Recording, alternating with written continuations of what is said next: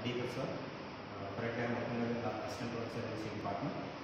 And uh, today I am here to explain the concept called uh, binary adder. And, uh,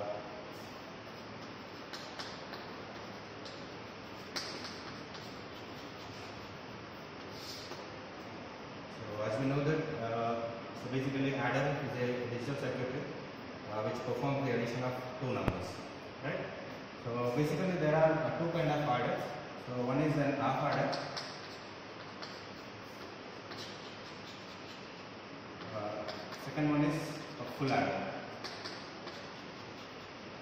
So coming to the half adder, adder is again a digital circuitry which comes under the category of uh, combinational device. So which performs the addition of two digits. Which performs the addition of two digits. And uh, this is the block diagram we can represent of half adder. So it takes two bits as input. Let us say input bit A and input bit D, and it is going to produce the output as sum. We can represent this with the sum, and uh, it also produces another output called carry. Right? Since the circuit takes two inputs, two bits as an input, so there are four combinations like A and B will take. So simultaneously sum and carry. So so the input may be 0 0, 0 1, 1 0 and 1 1. So when the inputs are 0 and 0, the sum is 0 and carry is also 0.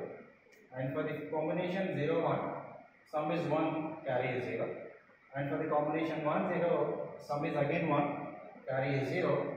But for the combination 1 1, sum is 0 and carry is 1. Right? Okay. Now if you write the equation for the sum and carry, so since sum is 1 for only these two combinations, right? So I can say sum S is equals to A bar B plus B bar A because only for these two combinations the output sum is equals to 1. So I can say this is A XOR B. So this is the equation for the sum. And coming to the carry since the carry is 1 for the only one combination 1 and 1 so it's A B. So this is the full adder and the implementation of full adder is it will require only two basic gates. One is the XOR gate another one is an AND gate. And by using these two gates we can implement the half adder right. So I need A and B so A and B is supplied here the same A and B is supplied as here. So here you will get sum and here you will get carry. So this is the uh, implementation of half adder, right? So coming to the full adder. So full adder is again is a, a digital circuitry. So which will perform the addition of three digits.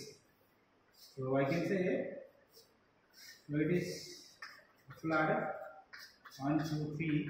Let us say A, B, and C. A, B, and C are the inputs. The full is going to produce the sum and as well as the carry. So coming to the implementation, so uh, directly I am writing the equations. So sum is the XOR operation between the three inputs digits A, B and C and coming to the carry it is AB, BC and C.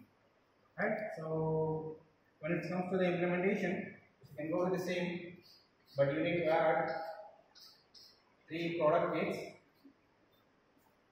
so AB uh, BC so let me come here. So let us take one more input here. This is C. And the last one is CA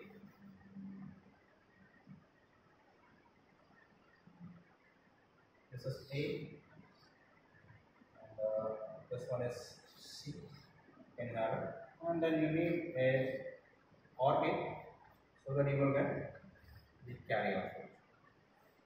So this is the basic implementation of, of full adder right?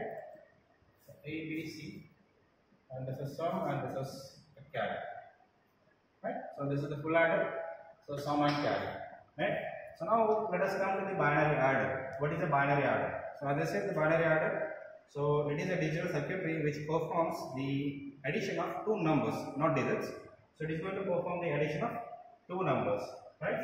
So so the basic building blocks for this binary adder or the adder and full adder, right? Now. So let us go with the standard binary adder, which is a 4-bit binary adder. Right? So in general, if it is a n-bit binary adder, so we need n full adders. Right?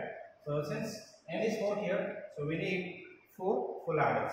Now coming to the implementation, so the full adders, so as I said, so we need 4 full adders. So it depends upon the n value. So that many full adders are required for implementing your circuitry. So these full adders are connected in a cascade fashion. So it means in a series fashion. And uh, again this 4-bit binary adder, so which is a parallel adder. So 4-bit binary parallel adder. So meaning, so the two numbers are added simultaneously. So supplied simultaneously to this adder. So let us say A is the number and B is one more number and uh, we are trying to add these two numbers, right? So A is known as augend. So in technically, so it is known as augend and B is known as addend. Right? So since we are assuming the numbers are four digits, so let us say, so let me write with the LSB A0, A1, A2 and A3 is the digits corresponding to the number A and coming to the number B, B0, B1, B2 and B3. So these are the digits. Now we are trying to add these two numbers, right? So the addition of these two is going to produce some S0 and at the same time it is going to produce the carry C1. Now here in the second stage we will be having three digits and the addition of these three digits will produce some S1 and the carry C2. Right? Now again in the third stage, so again we have three digits B2, A2 and C2. Now this will produce some S2 and at the same time it is going to produce a carry. In the next stage again we have three digits and the addition of these three digits so S3 and it's going to produce a carry also if right? Okay. Now we have to supply the same. So now A naught and B naught, so LSBs of augend and addend is supplied to the full adder 1 and at the same time I'm supplying a bit called Cn. So Cn is another digit so which is 0 for an addition so that so it becomes unique. So the first in the first step you will be having like three digits including the Cn the second stage 3 digits, third stage 3 digits, fourth stage 3 digits. Therefore, instead of an half adder for adding this A naught and B naught, so by including C naught, I can use a full adder in the first stage also. So that is the reason we are supplying another bit called C in and which is generally 0 for an addition. Right? So now, so this full adder is going to produce the output S naught which is the sum I am considering and carry C1 and this carry will be given to the next stage.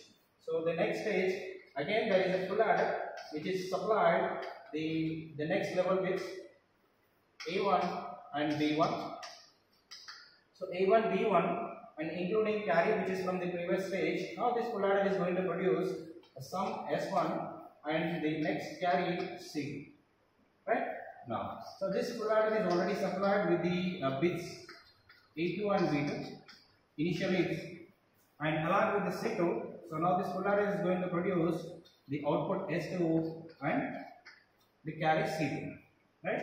Now this carry, whenever this carry is applied to the next full adder, now this full adder is going to perform the addition of the bits A3, B3 and including C3, it is going to produce the output C3 and if any carry, so carry will also be produced.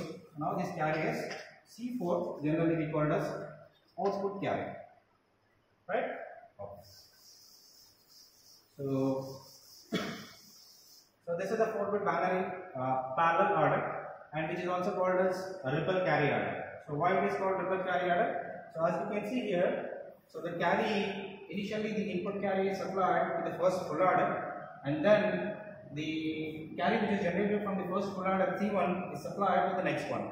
So unless until the C1 is supplied to the next full adder, so this full adder is not going to perform anything? Now this C, C1 along with A1 and B1, this full adder is going to generate sum and as well as carry. So whenever this carry is generated, so then this full adder is going to perform the addition of A2, B2 and C2. Now it is going to produce the output S2 and C2. So when C3 is produced, now this full adder is going to perform the addition of A3, B3 and C3. Now it is going to produce some S3 and the carry output.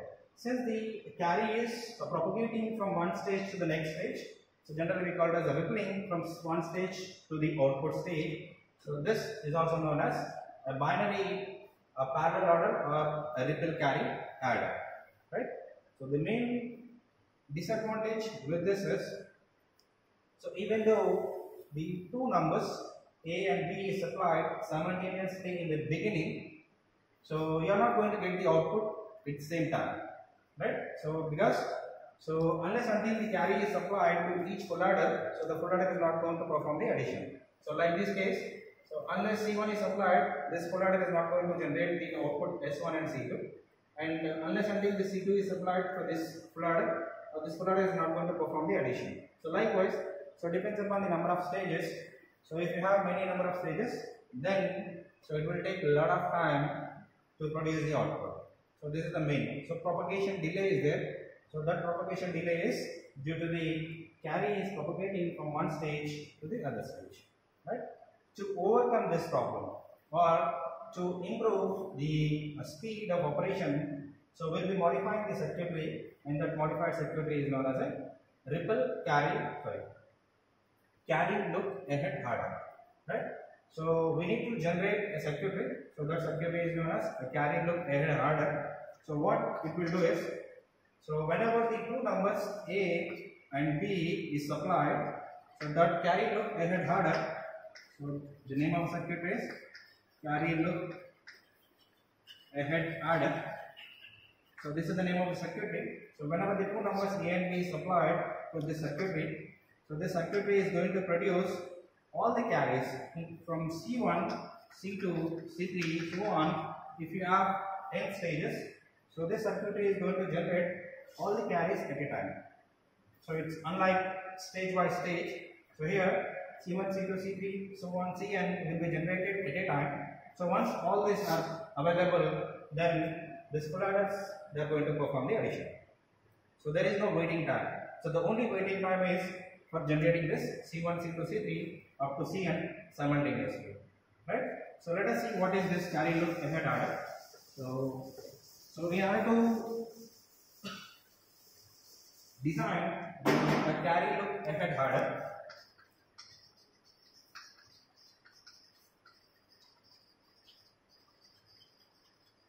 So we need the uh, full adder which is implemented with two half adders, right? A full adder which is implemented with two half adders. So as we have already seen, the half adder consisting of one XOR gate followed by one AND gate right? So let us assume the two numbers A and B and the input carry that we have supplied is C. So let me draw one more XOR gate and one AND gate. Right? So one half adder, one more half adder and we need one more extra OR gate so that I can implement a full adder by using these two half adders. Right? So A right? Okay. now i'm going to supply here. And the c input. So let us say that is ci so that ci is also required here.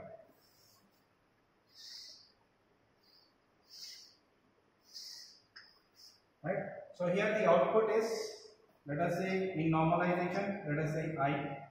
So here i'm going to get the output ai xor with bi so let me assume this is pi.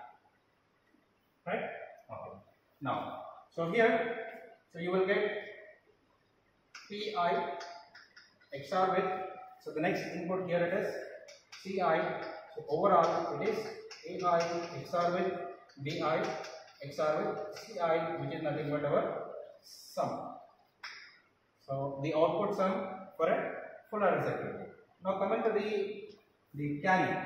So what is output here? So let us say the output here it is Gi it's AI multiplied with BI. Since it is an AND gate, so it's a product and this product will be given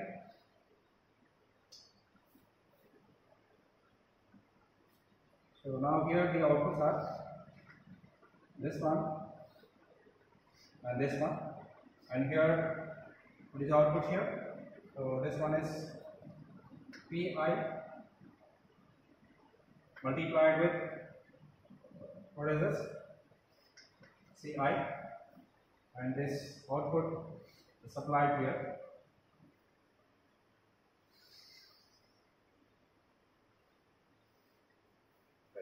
So as we know that what is Pi here? So is the XOR operation of A and B. Right? So here you will get your carry. So it means carry is A XOR with B into Ci plus what is that one? AI into BI. Right?